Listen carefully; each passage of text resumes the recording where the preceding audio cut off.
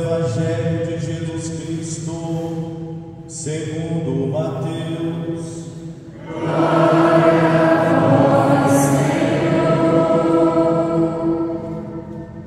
Naquele dia, Jesus saiu de casa e foi sentar-se às margens do mar da Galileia. Uma grande multidão reuniu-se em volta dele. Por isso Jesus entrou numa barca e sentou-se.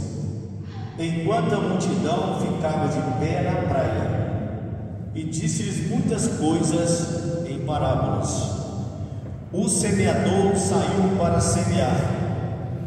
Enquanto semeava, algumas sementes caíram à beira do caminho, e os pássaros vieram e as comeram. Outras sementes caíram em terreno pedregoso, onde não havia muita terra. As sementes logo notaram, porque a terra não era profunda. Mas quando o sol apareceu, as plantas ficaram queimadas e secaram, porque não tinham raiz.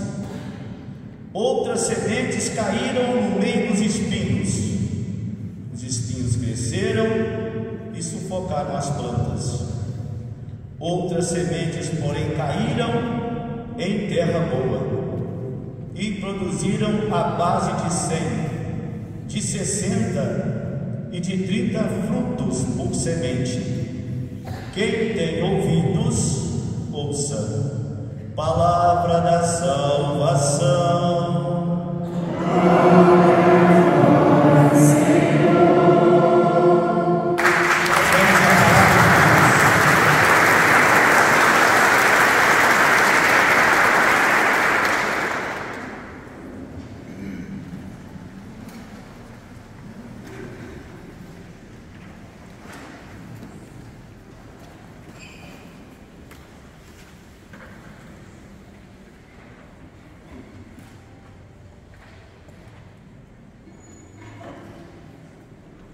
Ave Maria,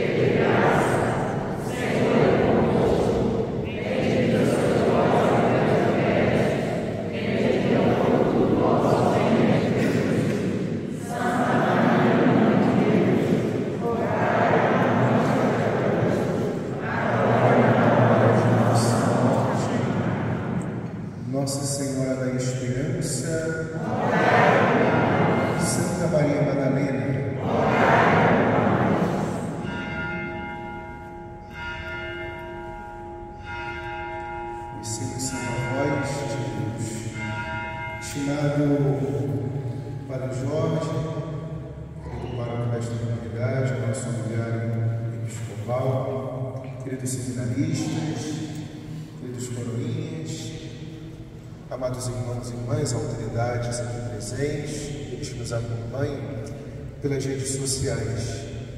Estamos vivenciando nesses dias um profundo retiro. E é o próprio Senhor Jesus que fala ao nosso coração. Tão bonitos os textos, os textos que a liturgia nos propõe, não vou me deter nesses textos, mas creio que ao ouvir estas palavras, o nosso coração, de alguma maneira, ardeu por sabermos tão amados e tão queridos e cuidados por Deus. O profeta Jeremias fala de sua vocação, também a nossa, essa vocação que Deus nos chama a uma vida de santidade, que é a participação na sua vida divina, que é a amizade com Ele. E desde o ventre materno, Deus já nos conhecia, Ele nos consagrou para sermos profetas. Como hoje, o tema do retiro, da novena, é muito propício. Não levantar falso testemunho. Quer dizer também que o verdadeiro testemunho eu sou chamado a dar. E essa é a missão do profeta. pregar, anunciar, tempo, contratempo, a palavra do Senhor é a verdade. Então nós, na primeira leitura, ouvimos Deus que nos convida a anunciar: Não tenhas medo, pois eu estou contigo.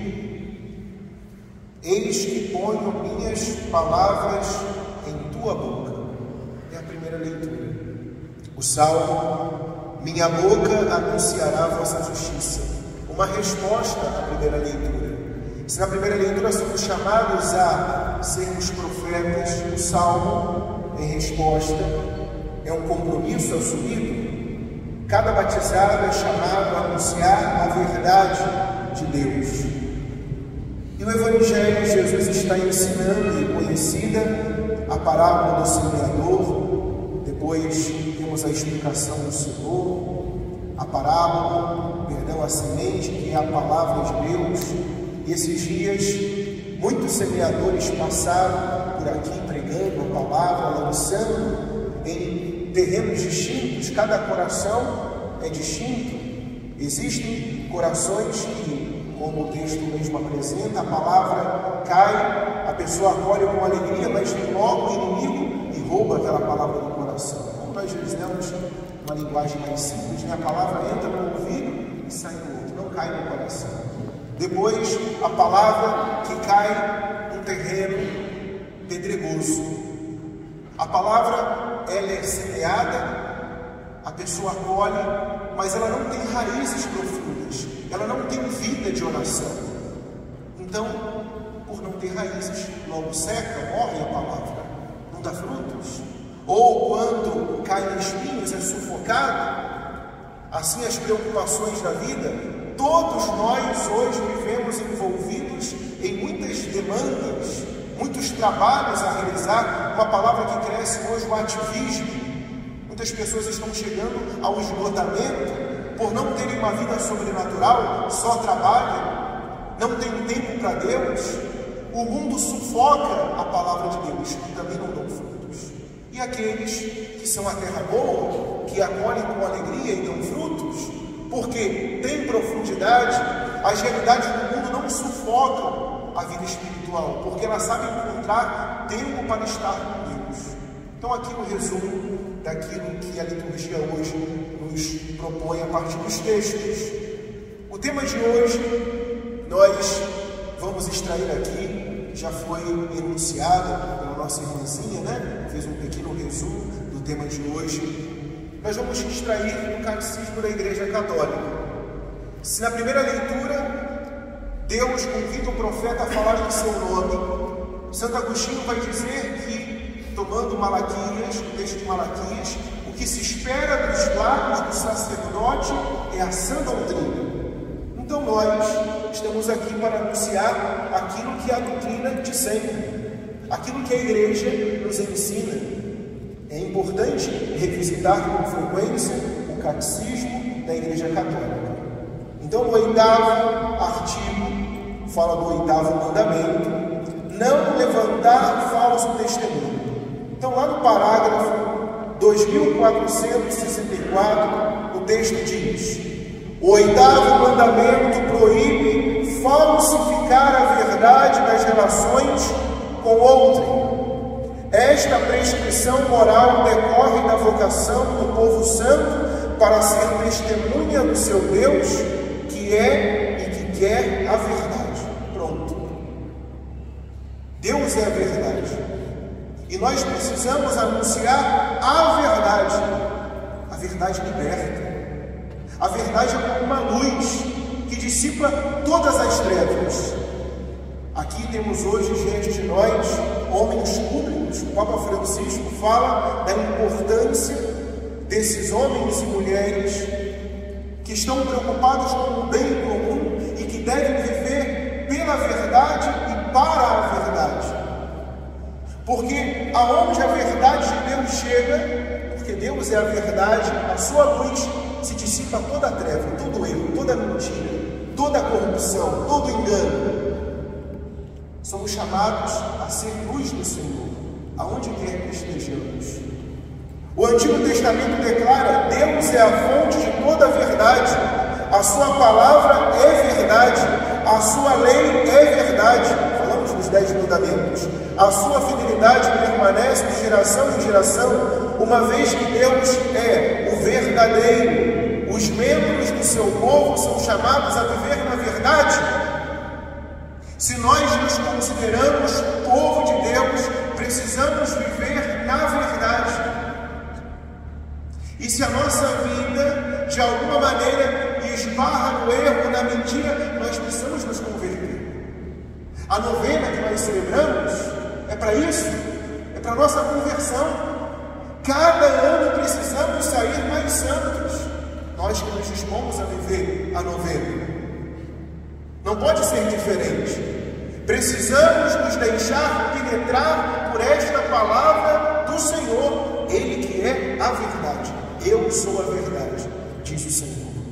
Em Jesus Cristo, a verdade de Deus manifestou-se na sua totalidade. Ele, cheio de graça e de verdade, ele é a luz do mundo. A verdade, como retidão da ação e da palavra humana, chama-se veracidade, sinceridade ou franqueza. A verdade ou veracidade é a virtude que consiste em mostrar-se verdadeiros nos atos e em dizer a verdade nas palavras, evitando a duplicidade, a simulação e a hipocrisia. Nós estamos vivendo num mundo contaminado. E se nós não nos deixarmos alcançar pela palavra, nós vamos sendo arrastados por essa avalanche de mentiras. O peixe, ele só se dá conta da água quando ele sai. No momento que ele está mergulhado, assim também nós, se nós não formos retirados, pescados pelo Senhor, e por isso a imagem da pescaria, porque o peixe ele morre para aquela vida antiga, nós precisamos também nos deixar pescar pelo Senhor, que é a verdade, nos atrair, Deus nos atrai com a sua verdade. E do momento que eu sou iluminado pela verdade, e aqui entra a moral cristã. Do momento que a verdade de Deus me alcançou, eu tenho um dever moral de me momento que a palavra de Deus, que é a verdade, alcançou, Deus iluminou com a luz sobrenatural, a luz natural, a minha inteligência, eu preciso mudar. No momento que eu sou confrontado com o Evangelho da verdade, se a minha vida não corresponde, eu preciso mudar. É um dever moral, a voz da consciência, Deus que nos fala. Os homens não seriam capazes de viver juntos se não tivessem confiança uns nos outros, isto é, se não se dissessem a verdade. A virtude da veracidade dá justamente a outro o que lhe é devido. A veracidade observa o justo meio termo, em que se deve ser dito e o segredo que se deve ser guardado. Implica honestidade e discrição. Por justiça, um homem deve ser honestamente ao outro a manifestação da verdade. Eu preciso viver a honestidade de falar sempre a verdade, mas também a discrição eu não posso sair falando para todos aquilo que é intimidade do outro também. Quantas pessoas se sentem na liberdade de sair espalhando o que conhecem da vida do outro? Precisamos ser discretos. Aqui o catecismo ele vai de forma bem abrangente, tocando todos os pontos no tocante à verdade, no testemunho desta verdade. E por exclusão, a mentira que é uma negação do nosso ser. Nós participamos do ser de Deus, que é a verdade. Precisamos ser homens e mulheres da verdade. Mentir é uma violência contra nós mesmos. Nós não fomos criados para mentir.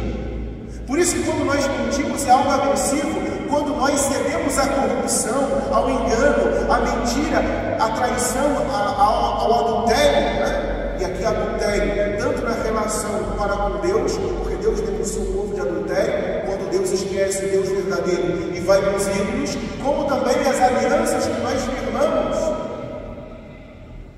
O erro, a mentira, é algo agressivo a nós, porque nós fomos criados para a aliança da verdade, sermos um só com Deus.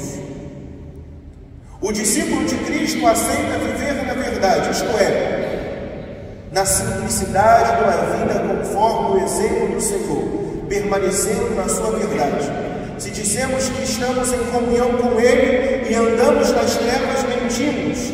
Não praticamos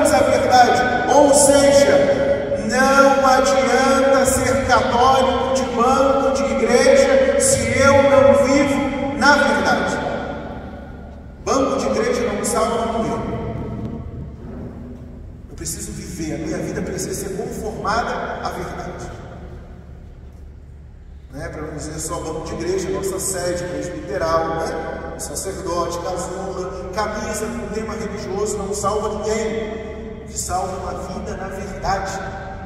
E precisamos nos converter todos os dias, porque o mundo ele vai como que nos asfixiando com a sua mentira. E se nós não tivermos a coragem de nadar contra a corrente, nós entramos nos esquemas do mundo. Todos nós não somos homens públicos, Cada um. Às vezes nós olhamos para as grandes esferas, né, aproveitando aí aqueles que se fizeram presentes para nós, uma grande honra tê-los aqui junto a nós. Às vezes nós falamos das grandes esferas de corrupção, só que nós esquecemos das pequenas corrupções às quais nós permitimos concessões. Né? Falamos aí dos grandes esquemas, né? Mas e a gatonete? E quando você cola na prova? E quando você aceita aquele esqueminha, né? ninguém está sabendo, é corrupção da mesma maneira. Aquelas grandes esquemas de corrupção que nós vemos nos cenários, né? macro, começa tudo no cenário micro. Pequenas corrupções, pequenos esqueminhas, pequenas toma lá cá, que nós vamos permitindo e vamos né, entrando né, na moda, deixa a vida me levar, não medindo as consequências desde que esteja tudo bem para mim, o que, que tem? O mundo é dos espertos. Dia nós estaremos diante da verdade e cada um vai prestar contas da administração da sua vida. E cada um receberá de Deus o louvor que tiver merecido. Alguns receberão o prêmio, outros a condenação. No entardecer da nossa vida, seremos julgados pelo amor diz São João da Cruz. Mas parafraseando, porque Deus, na sua essência, no seu ser, Ele é amor, Ele é verdade. No entardecer da nossa vida, seremos julgados pela verdade. E se eu vivi na mentira, não receberei o prêmio da vida eterna, serei condenado? É simples, meu amado irmão, minha amada irmã. A palavra de Deus é muito objetiva. E por isso que o catecismo é muito pontual. Por isso que o padre trouxe o catecismo para iluminar a sua pregação.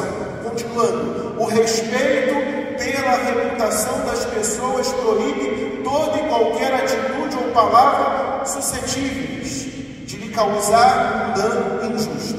E aí nós falamos do juízo temerário, da maledicência e da calúnia. Tudo isso, catecismo da Igreja Católica, não é invenção do Padre. Né? Grande perigo Hoje nós vivemos nos tempos das redes sociais e todo mundo publica o que quer, fala o que quer, eu sou livre, eu posso me expressar, né? direito de opinião. Cuidado, cuidado. Não é só o que você fala, o que você digita também tem implicações eternas. A nossa vida é feita de escolhas com consequências eternas. E muitas vezes nós vamos aí cedendo ao juízo temerário. O que é o juízo temerário? Aquele que mesmo tacitamente admite como verdadeiro e sem prova suficiente um defeito moral do próximo. Você acha uma coisa, você desconfia de algo e você já tira aquilo como uma verdade. Olha só o perigo. O nosso coração é tudo enganador. E a Escritura diz que o impuro vê tudo impuro. Às vezes você vê ou suspeita do erro de um irmão, porque esse erro está em você. Só que você projeta. E você começa, para poder responder o seu problema, você começa a ter juízos na vida dele. Maledicência aquele que, sem motivo objetivamente válido, revela os defeitos e as faltas dos outros, de outras pessoas que os ignoram. Você vai, conhece o defeito de alguém e você começa a falar para outras pessoas. Pecado mortal, pecado grave. É muito sério, meu irmão e minha irmã. Se você não pode ajudar através da correção fraterna, Cala-te. Silencie, reze. Hoje é interessante, eu dizia, porque foi o tema que eu elegi para o domingo passado, por conta do salmo, né? Não soltar a sua língua em calúnia, né? Hoje é interessante, sempre é assim, né? Um ser humano muito partidário. Se você não gosta de alguém, você quer que todo mundo também não goste. Né? E aí você começa a rotular, a emitir juízos, a condenar. E aí, se você conhece um defeito, você faz questão que todo mundo saiba. Pecado da maledicência. A calúnia, aquele que sem afirmações contrárias à verdade prejudica a reputação de outros e dá ocasião de falsos juízos a seu respeito. Quantas e quantas vezes, meus amados, aquela conversa, né, no pé do muro, na beira da janela, nós achamos que não tem nada demais. Ah, passando aqui, é, né? A gente acaba falando da vida. Como assim? Como assim que não tem nada demais? É algo gravíssimo. É interessante que quando falam de nós, nós pulamos, mostramos as garras, como férias, né? Se falam isso na nossa vida, mas nós nos sentimos muita vontade tranquilos para poder falar da vida alheia. Achamos que não tem nada demais. A regra de ouro, nunca faça com o outro que não gostaria que ele fizesse, é o tom. Precisamos entender o padre aqui não vai tomar todos os pontos, né? Aqui já convertendo para a nossa vida, para não estender muito, quando preparava esta pregação, lembrava de uma palavra de São Paulo a São Timóteo. Ele diz assim: Do que és um homem de Deus, foge desses vícios. Então, essa pregação de hoje é para nós, homens e mulheres de Deus, Foge daquilo que é a mentira. Porque quando nós, diz São Tomás de Aquino, quando nós escolhemos a verdade, nos tornamos livres. Quando nós escolhemos a mentira, nos tornamos escravos. Ele vai dizer: quando nós fazemos uma escolha pelo bem, nos tornamos livres, pelo mal, nos tornamos escravos. Estamos diante de Nosso Senhor, que é a verdade. No domingo passado, uma pergunta que foi uma pergunta incômoda: Senhor, quem morará em vossa casa? Se o padre perguntar aqui, quem deseja morar no céu, todo mundo vai levantar a mão, tenho certeza. Todo mundo. Mas o salmista diz quais as condições para morar no céu. E aqui no catecismo para a palavra de Deus. Quais as condições para morar no céu? É aquele que caminha sem pecado. Quer ir para o céu? Enquanto você caminha mundo, vai vencendo os pecados. Não vem com essa história que, ah, Deus é misericórdia, Deus perdoa tudo. Cuidado. É? Você vai aí no tema da mentira, você vai falando mal de todo mundo, vai prejudicando, né? Vai falando mal da vida ali, depois não, Deus é, é um bonachão, ele perdoa tudo, fica tudo em casa. E a boa fama? E a honra daquela pessoa que você manchou? Como é que fica? Olha só. É aquele que caminha sem pecado e pratica a justiça fielmente. O salmo de hoje vai dizer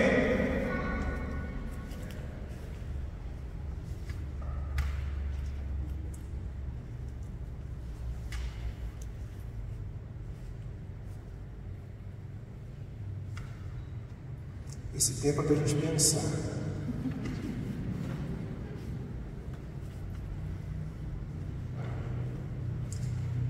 O tema do salmo é A minha boca anunciará a vossa justiça.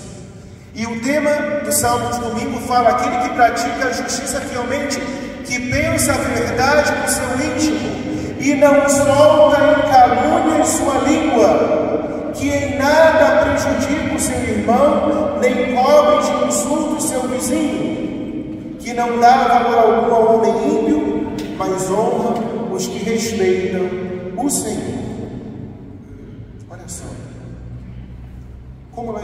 Estamos aqui diante desse salmo. É um exame. Precisamos fazer. Santo Agostinho, depois da sua conversão, e aqui o Padre vem trazendo alguns pensamentos dos santos para a gente pensar um pouquinho como anda a nossa vida, né? Santo Agostinho, ele, depois da sua conversão, quis viver uma vida comunitária. Ele que tinha tido um filho fora do casamento, a Deodato, junto com a sua mãe. E ele deixou uma placa no refeitório. E nessa placa dizia: Nunca falar de quem não está presente. Uma lei. É uma lei que nós podemos trazer para as nossas rodas de conversa. Não falar de quem está presente. Porque dificilmente nós falamos bem daquele que está ausente. Se eu elogio, tudo bem. Mas a maioria das vezes, meus amados, vamos ser sinceros, como que vamos elencando, fulano, aí tem a ficha do fulano. É o mundo que nós estamos vivendo hoje corrompido. E o cristão precisa ser diferente. Entre vós não pode ser assim, diz o Senhor. Santa Catarina de Sena, ela existiu, chamado pecado oculto de Santa Catarina de Sena. Ela se achava, né, depois ela se converte, que ela tinha recebido um dom de Deus de ver os erros das pessoas, principalmente dos sacerdotes. Pegar na história de Santa Catarina de Sena. Então, ela achou que Deus tinha dado uma iluminação a ela, dela começar a ver os erros dos sacerdotes. E um dia Jesus revelou para ela que aquele sentimento não vinha dele, mas do diabo. E depois que ela se converte, ela vai dizer: Hoje, quando eu vejo alguém caindo, hoje é a vez dela, amanhã será minha, a menos que me sustente a graça divina. Às vezes nós nos arvoramos em juízes, né? Falamos desse ou daquele, mesmo autoridade civil, um sacerdote, são pessoas públicas, estão expostas, né? Só que devemos fazer como Santa Catarina de Sena quando vemos um erro em alguém, um sacerdote, um bispo, um santo padre que seja, um religioso, uma religiosa, um seminarista, né? Hoje quem caiu foi ele, amanhã serei eu, a não ser que me sustente a graça divina. Vamos ser sinceros, meus amados? Quantas e quantas vezes nós caímos em realidades que, ora, nós julgamos o irmão? E Deus, na sua pedagogia infinita, Ele permite que nós caímos na lama do nosso nada, do nosso pecado, para crescermos na humildade, para vermos que somos do mesmo barco que o irmão. São Paulo vai dizer àquele que está de pé, tome cuidado para não cair. O Papa Francisco, já estou terminando, ele gosta muito de tratar com relação a esse tema da fofoca. É muito comum isso na sociedade em geral, mas também dentro das nossas comunidades. Posso falar porque eu não sou um padre aqui, então me sinto mais de poder falar, mas toda paróquia tem, como diz o Papa Francisco, né, seus fofoqueiros e suas fofoqueiras. Então, certa vez, uma dona muito fofoqueira procurou um sacerdote para se confessar, né? E ela se dizia arrependida de ter feito a fofoca, né? E ela se confessou e depois da confissão veio a penitência, porque todo mal precisa de uma reparação. Então a penitência, então a penitência é o seguinte, olha, você veio da sua casa para a igreja, agora da igreja para a sua casa, pelo caminho você vai, compra uma ave Aí você escolhe o pão, o frango, se quiser, e você vai começar a depenar, tirar as penas e mais ou menos no ar, direção da igreja que é a sua casa. Depois que você fizer, você volta para a gente poder concluir a sua penitência. Ela foi, ficou com pena do bichinho, mas foi fazendo isso e foi embora. Quando terminou, voltou ao padre, pronto, padre, cumprir a penitência. Calma lá, minha filha, ela não terminou a sua penitência. Agora, para concluir a penitência, você vai fazer um caminho inverso. Da sua casa a igreja, você vai pegar as penas que você foi espalhando e vai colocar novamente na árvore. E ela disse para ele, mas padre, isso é uma tarefa impossível. Assim como a fofoca. Depois que você fez a fofoca e a coisa se espalhou, como é que você vai reparar? Ah, padre, mas eu estou arrependido. E o mal? Como fica? Depois que a imagem da pessoa né, foi manchada, a honra, né, o direito, tanto civil como canônico diz que todo mundo tem direito a uma boa fama, você manchou a imagem dela. Olha como é danoso para uma vida entre pessoas, em relações interpessoais, seja na família, seja na igreja, a fofoca. O Papa chama o terrorismo da fofoca. O Papa chama a fofoca de terrorismo. Então, se existem fofoqueiros no nosso meio, são terroristas. Porque Deus não aprova fofoca. Jesus ensina a correção fraterna. Se o teu irmão pecou contra ti, vai em particular e conversa com ele. Fala a verdade. Hoje a moda é alguém pecou contra ti, você vai e posta no Facebook. Detesto gente falsa. Pronto. Aí vem uma pessoa mais estrambelhada da vida, coloca lá no comentário: Tô contigo, amigo. E aí vai. Vai ver daqui, a cinco minutos, 50 pessoas já entraram numa briga que nem é delas. E uma coisa que podia ser resolvida. Chamar a pessoa em particular, como ensina Jesus, e com franqueza, porque hoje em dia o computador, quando fala computador, fala celular, a internet, virou a arma dos covardes. Quantas vezes o Papa Francisco tem sido atacado? Quantas vezes os bispos têm sido atacados? Os sacerdotes. Por quê? Covardes, atrás, atrás. É muito, a pessoa muito corajosa atrás de um celular, de um computador. Mas ela não tem a coragem de chegar na frente de uma autoridade civil e falar, olha, eu não concordo com o senhor. Gosto muito, mas não concordo. E a pessoa vai dar as razões. A palavra diálogo é diálogos, né? Dois logos, duas razões que partilham. Né? Mas não, a gente prefere falar. Sou livre. Só que essa liberdade tem preço. Porque quando eu escolho a verdade, eu sou livre. Quando eu escolho o mal, eu me torno escravo. E um dia estarei diante do Senhor. Para terminar, meus amados, existe. A gente aprende muito com os monges, né? um pensamento simples, mas que vai ficar nos nossos corações. O pensamento de um monge. Muitas vezes já me arrependi de coisas que falei, mas nunca me arrependi de ter guardado o silêncio. Puxa na memória quantas coisas que a gente já se arrependeu e a gente pensa, pô, se eu tivesse ficado quieto, se eu tivesse ficado em silêncio, eu não teria gerado esse transtorno todo que eu gerei. Lá na minha família, quantas pessoas que estão com a família brigada em descrição falou demais, falou da vida do outro. Né? Por fim, meus amados, São Tiago nos dá um conselho assim, como que uma chancela de tudo aquilo que nós meditamos até agora. Estamos no retiro, é verdade? Estamos aqui para viver uma vida santa, é verdade? Queremos nos converter. São Tiago, na sua carta, vai dizer: olha a voz de Deus. Se alguém pensa ser piedoso, mas não refreia a sua língua, a sua religião é vã. Quantas pessoas, mãozinhas postas, terços pendurados, né? A mesma língua que usa para receber Jesus na Eucaristia, para rezar, usa para maledicência, para. Né? São Tiago fala, né? Uma língua incendiada pelo inferno muda a rota da sua vida. Olha como é grave, meus amados. Ele vai dizer que a língua, embora seja um membro muito pequeno, domina todo o corpo. É um membro inquieto. E assim como a centelha é capaz de incendiar uma floresta.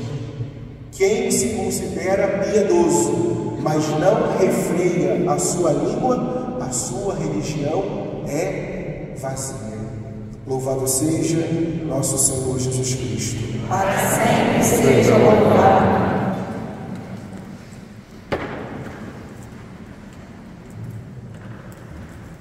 Ó Deus, vossa justiça se faz presente no meio de nós, e vós nos manifestais vosso amor. Ouvi a nós que a vós clamamos. Deus misericórdia, ouvi-nos. Deus misericórdia, ouvimos. Guiai vossa igreja em sua missão. Guiai vossa igreja em sua missão de anunciar a verdade de Cristo no mundo. Deus de misericórdia, ouvimos. Inspirai-nos no cuidado da caridade, na vivência da fé, pelo acolhimento das pessoas. Deus de misericórdia, ouvi-nos. Fortalecei no pensamentos e sentimentos, e que eles sejam semelhantes aos de vossos filhos Jesus. Deus de misericórdia, ouvi-nos. Rezemos pelo nosso querido Papa Francisco, pela sua missão, pelo seu apostolado, pelo nosso bispo diocesano que celebra os cinco anos de sacerdócio, cinco anos de episcopado, pelo nosso querido pároco, Padre Jorge, Túlio, pela sua missão no pastoreio junto a esta paróquia e também no nosso vicariato, por cada um de vós, meus irmãos e irmãs, pelas vossas vidas, pela saúde, para que Deus dê sabedoria a cada um de vós, que o Senhor possa conduzi-los no caminho que é Cristo, Ele que é a verdade, rezemos ao Senhor. Senhor, escutai a nossa prece. Acolhei, acolhei-nos, Senhor Deus, juntamente com as nossas preces e transformai-nos em cada dia na vossa graça. Por Cristo nosso Senhor. É momento da procissão das oferendas. Eu conto com a sua colaboração para as obras da nossa paróquia. Podem sentar. Deus te recompense pela sua bondade e seu espírito de fraternidade e partilha.